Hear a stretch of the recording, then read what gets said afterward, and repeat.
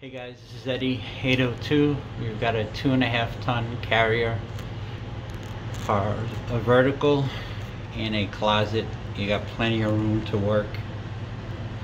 Unit is 13 years old.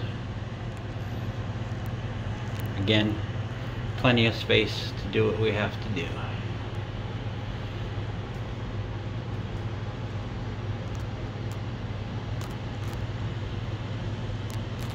And you change your filters a lot.